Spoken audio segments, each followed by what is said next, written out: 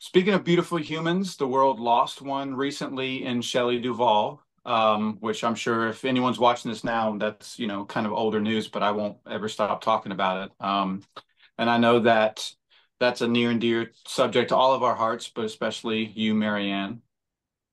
Yeah, um, I uh got involved in this movie, The Forest Hills, I because Scott Goldberg, the writer and director, um, he just reached out to me on Facebook. Oh, I love that.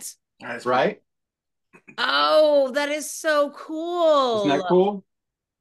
Like the reason why I said yes to Scott when he reached out to me and offered me like this small role in the movie um, was because Shelley Duvall was involved.